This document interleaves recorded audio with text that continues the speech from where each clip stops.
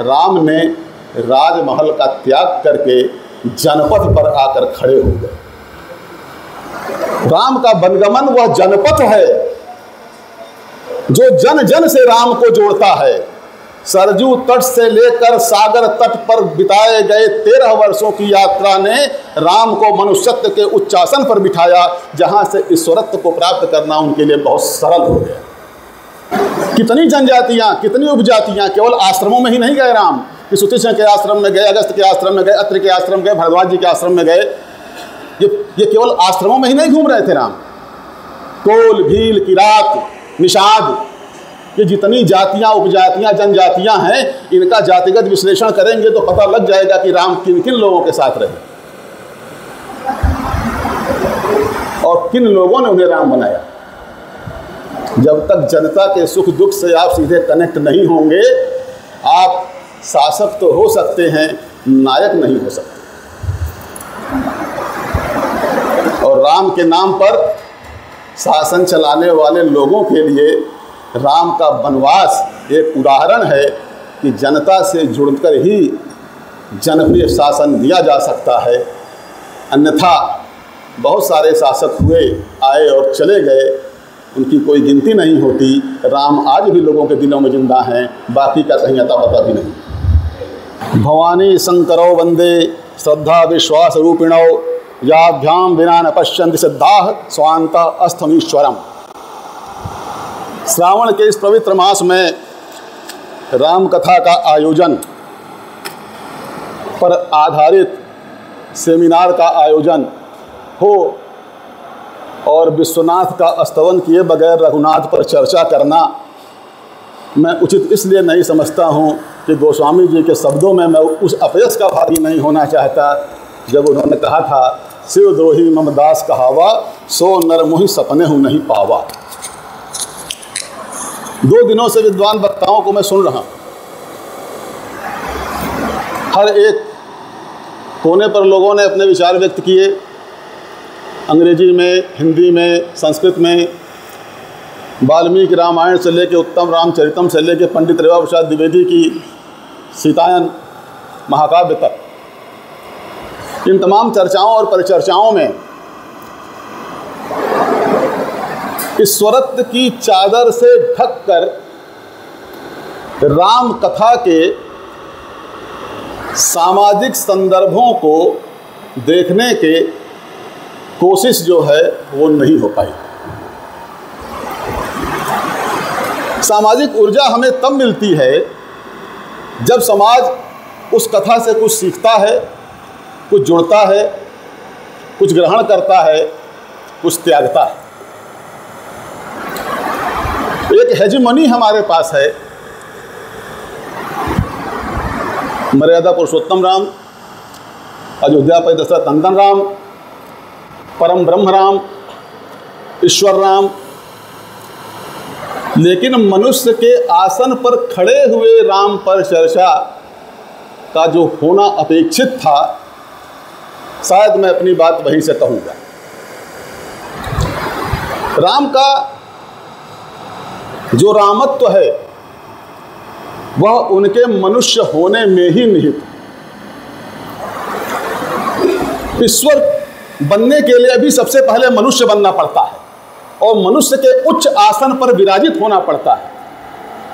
गोस्वामी जी की जो पूरी राम कथा है, रामचरितमानस, उसमें इसी मनुष्यत्व को प्रतिपादित करने का प्रयास है, यद्यप ईश्वरत्व की आभा से वह मुक्त नहीं हो पाई। उसके मुकाबले महर्षि वाल्मीकि की रामायण में राम कुछ कुछ मनुष्य के रूप में ज़्यादा नज़दीक हैं, मनुष्य के भीतर उठने वाले जो भाव और मनोविकार हैं, वो सब हम महर्षि वाल्मीकि रामायण में देखते हैं। जहाँ तक दृश्य प्रतिरूपों का सवाल है दृश्य प्रतिरूप हम किसे कहेंगे? आज हमारे सामने सबसे बड़ा दृश्य प्रतिरूप तो रामलीला ही है। टीवी सीरियल है, सिनेमा है लोकनाट्य की परंपरा में राम हैं, चित्रकला में राम हैं, मूर्तिकला में राम हैं, हमारे सामाजिक संस्कारों में राम है, सोहर में राम है, कजरी में राम है, हमारे जीवन की दैनंदिनी में राम हैं तो ये सब तो हमें परिलक्षित होता है। लोग किस तरीके से उसको ग्रहण करता है, यह अलग विषय। रामलीला का जहाँ तक प्रश्न उठा कभी विद्वान वक्ता काशी हिंदू विश्वविद्यालय के आचार्य सदाशिव द्विवेदी जी, जो पूज्य देवा प्रसाद द्विवेदी जी के सुपुत्र थे, उन्होंने बहुत कुछ विस्तार से इस बारे में बताया। और अंतिम में उन्होंने कहा था कि मैं उस धरती से आया हूँ जिसने रामलीला दिया। गोस्वामी तुलसीदास जी के समय से जो रामलीला का प्रारंभ हुआ, उसके पहले, उसी समय में रामलीला के आदि पुरुष हुए थे मेघा भगत, जो बनारस के कुतुबपुर के टुटा हनुमान मंदिर के मोहल्ले में रहते थे, और उनका भी सकालखंड वही है जो गोस्वामी तुलसीदास जी का है। कहने वाले तो यहाँ तक कहते हैं कि गोस्वामी जी के वो शिष्य थे। सन 1908 में इलाहाबाद हाईकोर्ट ने जजमेंट दिया था। उसमें मेघा भगत के होने का ज़िक्र है। 1543 में, और जबकि रामचरित रामचरितमानस पूरी हुई थी पंद्रह सौ में। यानी कि तुलसी के रामचरितमानस के पूर्व होने के पहले मेघा भगत ने चित्रकूट की लीला और लाट भैरव की लीला से राम कथा के दृश्य प्रतिरूपों का मंचन प्रारंभ कर दिया था, जो गोस्वामी जी के रामचरितमानस लिखने के उपरांत इतनी तीव्र गति से आगे बढ़ा कि जिसे बाद में वाराणसी के रामनगर की सबसे प्राचीनतम जो रामलीला है, जो यूनेस्को की धरोहर साबित कर दी गई है, वहाँ तक वह परंपरा चली आती है।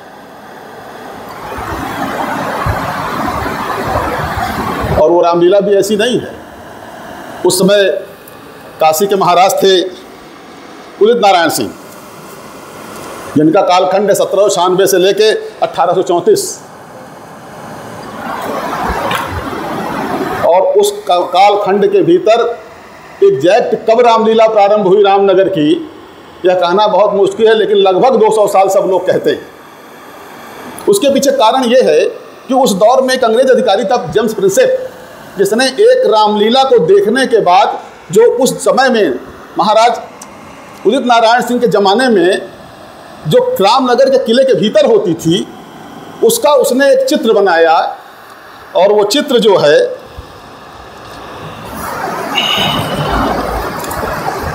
Banaras illustrated in the series of drawing पुस्तक में 1825 में प्रकाशित हुआ और वो चित्र था राम रावण युद्ध का। तो यह बताना पर्याप्त है कि 1825 तक रामनगर की रामलीला अपने पूरे चरमोत्कर्ष पर पहुँच चुकी थी और अंग्रेज़ों ने भी उसकी नोटिस लेना शुरू कर दिया था।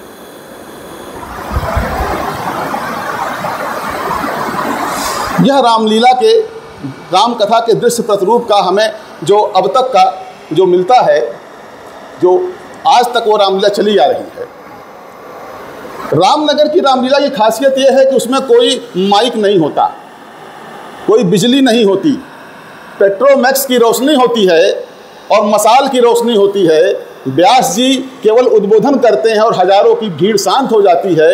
लोग गोस्वामी जी की चौपाइयों से कथा के पात्र जो अभिनय कर रहे होते हैं, उनसे मिलान करते हुए उस राम कथा का आनंद लेते रहते हैं दृश्यात्मक रूप से। आप यकीन कर सकते हैं कि 200 साल से बनारस में जो राम कथा हो रही है, रामलीला के माध्यम से जिसका मंचन हो रहा है, जो राम कथा का दृश्य सबसे प्राचीनतम दृश्य प्रतिरूप, जो आधुनिक समय तक हमारे पास विद्यमान है धरोहर के रूप में, उसमें बगैर माइक के, बगैर बिजली के, बगैर साउंड सिस्टम के, केवल हज़ारों की भीड़, पेट्रोमैक्स की रोशनी में, जिसको पंचलाइट कहते हैं राम कथा का मंचन देख रही है। और स्टेज भी कोई छोटा, इस तरह का नहीं है जैसे कि हम रामलीला रामलीला की स्टेज देखते हैं। आठ किलोमीटर के दायरे का इतना बड़ा स्टेज दुनिया में कहीं नहीं दिखाई पड़ता।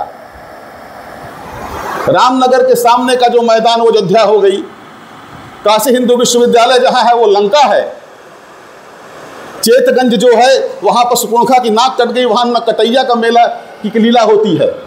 और भरत मिलाप जहाँ होता है, वो नाट्यमिली में होता है, जो कि दुनिया का सबसे प्रसिद्ध भरत मिलाप है, सबसे प्राचीनतम भरत मिलाप है, जिसका समय निश्चित है कि चार बज के चालीस मिनट पर ही होगा, और साढ़े तीन बजे से आकाशवाणी प्रसारण होगा और पाँच बजे तक खत्म हो जाएगा। और जो धूप चंडी है, वो चित्रकूट है।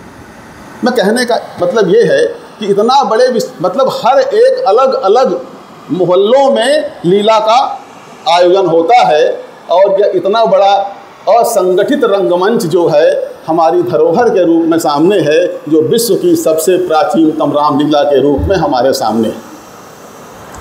अब बात आती है दूसरी रामलीला की, जिस पर हो सकता है प्रोफेसर डी आर पुरोहित ने बोला हो। 1860 में दो जगह रामलीलाएँ शुरू हुई। एक तो अल्मोड़ा के भद्रेश्वर मंदिर में कुमाऊं की रामलीला, दूसरी लखनऊ के ऐसबाग में तत्कालीन नवाब आसफुद्दौला के सहयोग से की की गई रामलीला, जिसे ऐसबाग की रामलीला कहा जाता है वो भी यूनेस्को की धरोहर प्राचीनतम रामलीलाओं में से एक है, और नवाब आसफुद्दौला उस लीला का मंचन करने वाले पात्रों को अयोध्या के साधु संतों को आमंत्रित करके उनसे अभिनय कराते थे। ये दूसरी प्राचीनतम रामलीला का मैं उदाहरण दे रहा हूँ। चौथी तो पौड़ी की है ही अट्ठारह सत्तानवे में। आरंभ। फिर तो जगह जगह है उदाहरण कहने का तात्पर्य मैं कल भी सुन रहा था, शायद किसी ने यह टिप्पणी की थी कि तुलसी ने अवधि में राम कथा इसलिए लिखी कि मुगलों से कुछ बचाव किया जा सके। ऐसा मुझे सुनने में आया। तुलसी से पहले मलिक मोहम्मद जायसी हुए थे और पूरी की पूरी पद्मावत जो है वो अवधि में है। पूरी की पूरी सूफी परंपरा अवधि में है। कुतुबन, मंझन, उस्मान, नूर मोहम्मद, मुल्ला दाऊद, चंदायन, मृगावती, मधुमालती ननराग बांसुरी, ये सारी कृतियाँ अवधि में लिखी गई हैं। इसका मतलब साफ़ है कि मुसलमानों को अवधि भाषा पर जितना कमांड था उतना ही हिंदुओं को था, उससे कहीं कम मुसलमानों को नहीं था। इस तरह के वक्तव्यों से दिक्कतें पैदा होती हैं और इतिहास को डेंट लगता है। मेरे कहने का तात्पर्य यह है कि अगर जायसी की अवधि देख लें और तुलसी की अवधि को तुलना करें तो तुलसी की अवधि में सत्तर परसेंट संस्कृत के शब्द दिखाई पड़ेंगे, जबकि जायसी की अवधि खांटी अवधि है, जो अयोध्या, प्रतापगढ़, इलाहाबाद, रायबरेली, जायस, गौरीगंज के आसपास बोली जाती है। बात चलिए रामलीला से आगे बढ़ते हैं। अब राम कथा पर आते इतनी सारी चर्चाओं में सदाशिव द्विवेदी जी ने कुछ मेरे लायक तो कुछ छोड़ा नहीं। अब मैं सोच रहा हूँ कहाँ से शुरू करूँ। दो सवाल जो हैं। एक तो राम का वन जाना। यह राम का जो वनवास है चौदह वर्ष का, इसी ने राम को राम बनाया। अगर राज तिलक हो जाता तो उनके पहले पूरे इक्ष्वाक वंश की परंपरा में इतने इतने प्रतापी सम्राट हुए, लेकिन कोई जननायक नहीं हुआ। कुकुस्त कुल भूषण राम, इक्ष्वाक वंशी राम, रघु, रघुकुल भूषण राम, सब कुछ के बावजूद मानधाता से लेके अज तक, दशरथ तक, जननायक क्यों नहीं हो पाए? उसका कारण था कि लोगों ने राजमहल का त्याग नहीं किया था। राम ने राजमहल का त्याग करके जनपद पर आकर खड़े हो गए। राम का बनगमन वह जनपद है, जो जन जन से राम को जोड़ता है। सरजू तट से लेकर सागर तट पर बिताए गए तेरह वर्षों की यात्रा ने राम को मनुष्यत्व के उच्चासन पर बिठाया, जहाँ से ईश्वरत्व को प्राप्त करना उनके लिए बहुत सरल हो गया। कितनी जनजातियाँ, कितनी उपजातियाँ, केवल आश्रमों में ही नहीं गए राम। कि के आश्रम में गए, अगस्त के आश्रम में गए, अत्र के आश्रम गए, भरद्वाज जी के आश्रम में गए। ये ये केवल आश्रमों में ही नहीं घूम रहे थे राम। कोल भील किरात निषाद ये जितनी जातियाँ, उपजातियाँ, जनजातियाँ हैं, इनका जातिगत विश्लेषण करेंगे तो पता लग जाएगा कि राम किन किन लोगों के साथ रहे। और किन लोगों ने उन्हें राम बनाया? जब तक जनता के सुख दुख से आप सीधे कनेक्ट नहीं होंगे, आप शासक तो हो सकते हैं, नायक नहीं हो सकते। और राम के नाम पर शासन चलाने वाले लोगों के लिए राम का वनवास एक उदाहरण है कि जनता से जुड़कर ही जनप्रिय शासन दिया जा सकता है।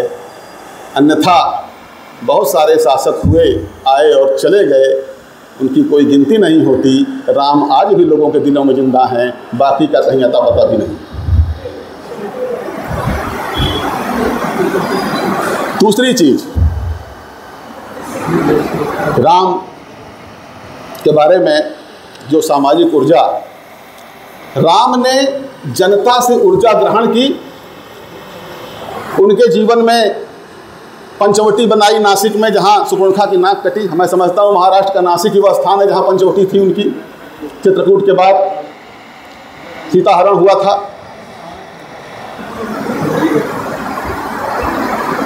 अयोध्या, लंका पर विजय मिली। तमाम लोगों का सहयोग लिया, राम ने समुद्र पसेद पर पुल बनाया। ये सारी बातें हुई। पर आप एक चीज़ देख लीजिए, जब राम लंका से अयोध्या लौटते हैं तो वही राम नहीं होते, जो राम अयोध्या से चले थे। वह राजकुमार राम सबके राम बन गए। राम ने अपने व्यक्तित्व का व्यक्तित्वांतरण कर लिया था। सामान्य मनुष्य की भावभूमि पर खड़े होकर ही राम ने अपने रामत्व को प्राप्त किया, जिससे ईश्वरत्व की छवि का अंकन हमारे भारतीय जनमानस के मन मन में हो गया।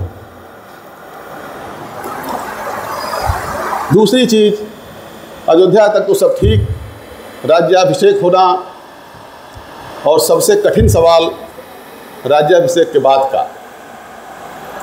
सीता का परित्याग। पंडित जी बोल रहे थे,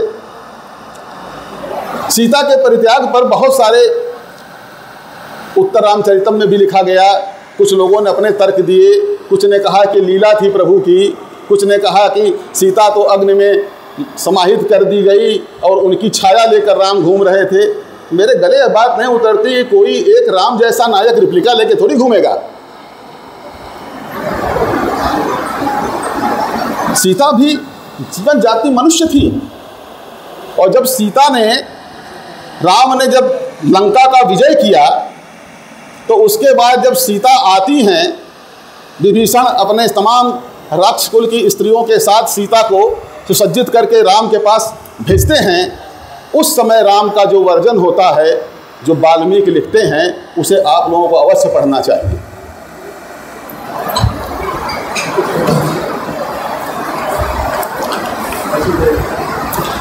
प्राप्त चारित्र संदेह मम प्रतिमुखे स्थिता। दीपो नेत्रा तुरस्य प्रतिकूला में तुम्हारे चरित्र में संदेह का अवसर उपस्थित है। फिर भी तुम मेरे सामने खड़ी हो। जैसे आँख के रोगी को दीपक की ज्योति नहीं सुहाती, उसी प्रकार आज तुम मुझे अत्यंत अप्रिय जान पड़ती हो। ये राम ने उस समय सीता के लिए कहा था, जिस सीता के लिए पूरी लंका जीत ली। यह सीता का अपने पति के द्वारा किया गया पहला अपमान था। और तो और, वाल्मीकि ने दूसरा जो श्लोक लिखा है, उससे ज़्यादा बढ़कर कोई अपमानजनक शब्द हो भी नहीं सकते। नहीं तो आम राम दृष्टवा दिव्य रूपा मनोरमाम मर्षये चिरम सीते स्वगृह पर सीते, तुम जैसी दिव्य रूप सौंदर्य सुशोभित मनोरमा नारी को अपने घर में स्थित देखकर रावण चिरकाल तक तुमसे दूर रहने का कष्ट सहन नहीं कर पाया होगा। क्या है ये? वाल्मीकि रामायण में लिखा अयोध्या जीतने के बाद जिस प्रियतमा के लिए पूरी अयोध्या जीत ली, रावण का समूह सर्वनाश कर दिया, उसके आने पर राम के ये उद्गार। अग्नि की वेदी सजाई जाती है, सीता आग के हवाले होती हैं, पवित्रता की परीक्षा होती है पुष्पक विमान तैयार होता है और राम अयोध्या लौटते हैं। यह अपने उन बंदर भालुओं की सेना के सामने सीता की शुचिता को प्रमाणित करने का राम का प्रयत्न है इस प्रयत्न को कितना जस्टिफाई समझा किया जाएगा? इस स्वरत्व की चादर और लीला की चादर से ढक कर इन सवालों से हम डक नहीं कर सकते। मैं कोई फेमिनिस्ट नहीं हूँ। उस दौर में ना कोई क्लारा जेटकिन थी, ना विगल एडम थी, ना गावलेस थी, न व्यक्ति फ्रीडम थी, ना अन्य फेमिनिस्ट मूवमेंट सिमंत गौवार थी। लेकिन वाल्मीकि ने जो लिखा है राम के बारे में वह तो हमारे सामने टेक्स्ट के रूप में मौजूद है। बहरहाल, बात इतनी होती, अब चर्चा अयोध्या में राज्याभिषेक भी हो गया, आनंद के दिन आ गए सीता गर्भवती हो गई।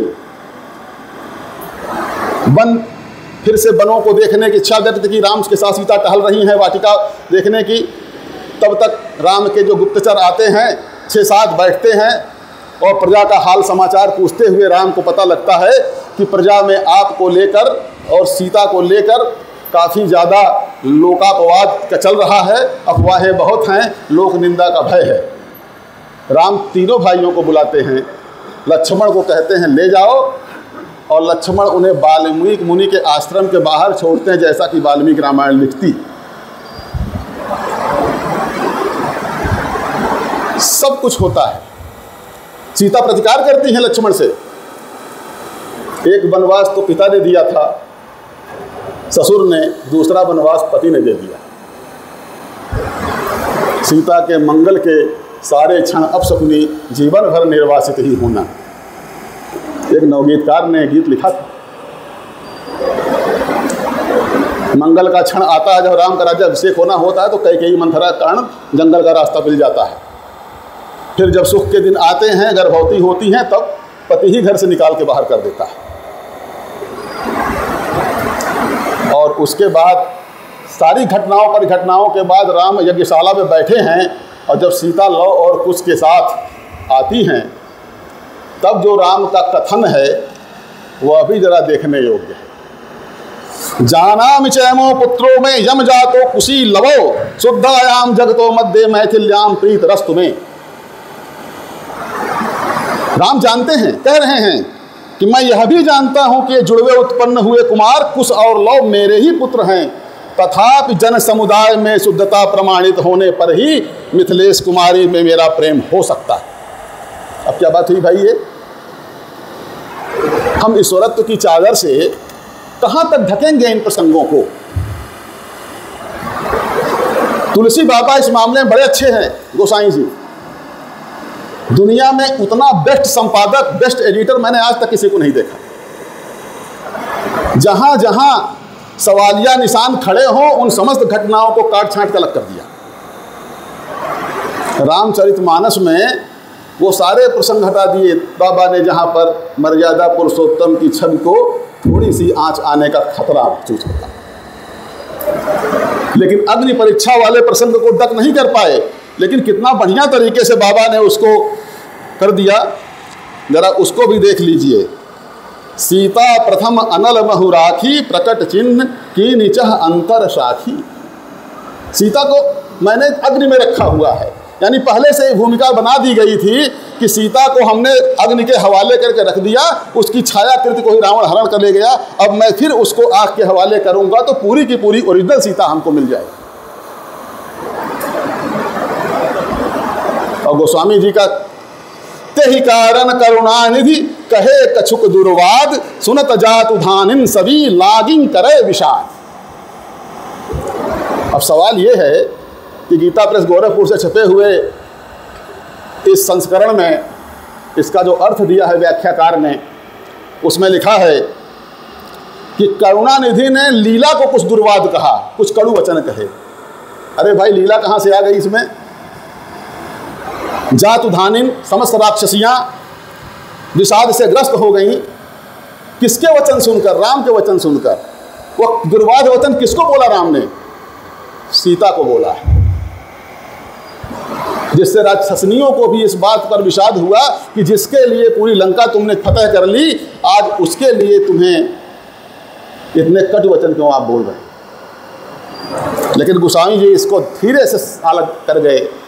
प्रतिबिंब अलौकिक कलंक प्रचंड पावक महु जरे प्रभु चरित का लखे नवसुर सिद्ध मुनि दे कहीं खरे। लौकिक कलंक का जो प्रतिबिंब है, वो उस प्रचंड पावक अग्नि में जल कर राख हो गया, वो ओरिजिनल सीता आ गई और इस घटना को देवता मुनि ऋषिजन कोई नहीं देख पाया। यह गोसाई जी है। एक तरफ़ वाल्मीकि, एक तरफ़ गुसाई। अब सवाल ये है, इस घटना से हमें कौन से सामाजिक ऊर्जा प्राप्त होती है? यज्ञशाला में जब राम ने सीता को यह कहा था कि शुद्धता प्रमाणित करने के लिए सीता उसी क्षण अयोनिजा सीता, भूमिजा सीता धरती में समा गई। यह सीता का राम के उस कर किए गए कार्य के का सबसे बड़ा प्रतिकार था। तुमने मुझे अपने से अलग किया, अब तुम मुझे कभी नहीं पाओगे। हमको इस नज़रिए से भी देखना चाहिए। सभी भाइयों की पत्नियाँ साथ रहीं, सबके बच्चे रहे, लेकिन लौ कुश के अलावा राम के पास सीता नहीं रही, अयोध्या पर शासन होता रहा।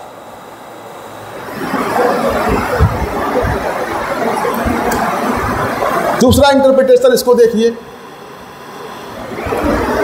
अगर हम ये प्रजापालक राम की ओर से इसको देखते हैं, जिस जनतंत्र में हम ये कहते हैं कि हमें अपने समाज के सबसे आखिरी व्यक्ति की आवाज़ को भी हम अनसुना नहीं करना चाहिए, वहाँ पर राम ने एक छोटे तबके के व्यक्ति की लोकापवाद भरी बातें सुनकर अपनी पत्नी का परित्याग करने का निर्णय लिया।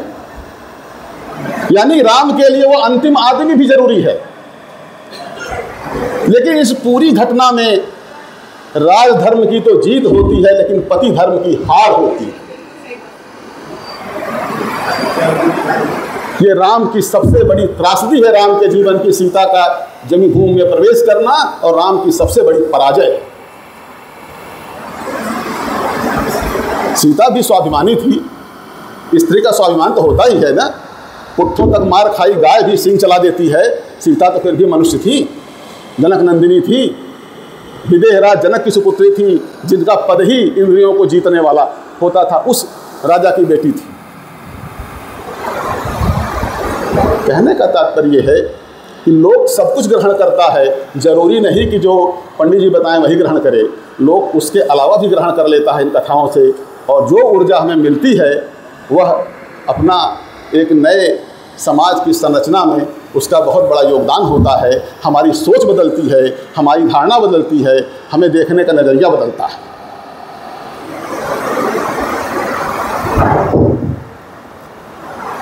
दूसरी चीज़ इस पूरी की पूरी बस चलिए बस मैं ख़त्म कर रहा हूँ मेरा सारा समय तो आपने ज्ञानियों को दे दिया। अब अज्ञानियों को सुनने में आपको दिक्कत हो रही है। चलिए, कोई बात नहीं।